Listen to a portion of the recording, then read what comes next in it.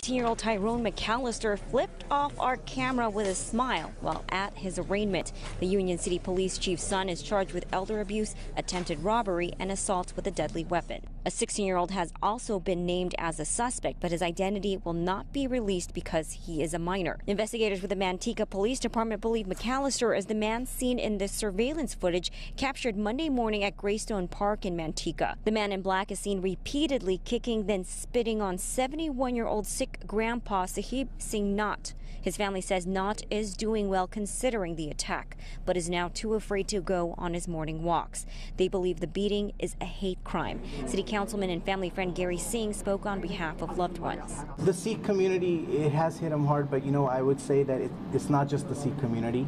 Um, I think it hit the whole community of Manteca hard. The president of the NAACP Stockton branch was also in court. Bobby Bivens says he does not want this attack to divide the community. As to whether it was just a hate crime or a crime, but I'm, I'm of the opinion that at this point, looking at the videos, that is just a crime committed by some young people. The 18 year old's father, Union City Police Chief Daryl McAllister, has said in a statement that he is estranged from his son and that his son needs to be held accountable for his actions. There's no